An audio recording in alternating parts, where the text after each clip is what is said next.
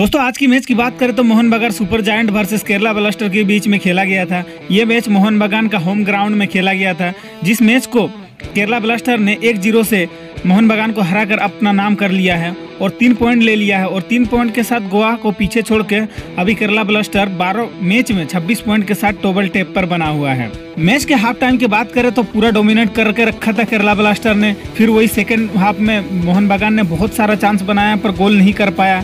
गोल करने में असफल रहे। वही अब टेबल टॉप फाइव का लिस्ट आप देख सकते हैं कौन कौन है। और कल की मैच की बात करें तो Mumbai city versus Chennai FC के बीच में खेला जाएगा।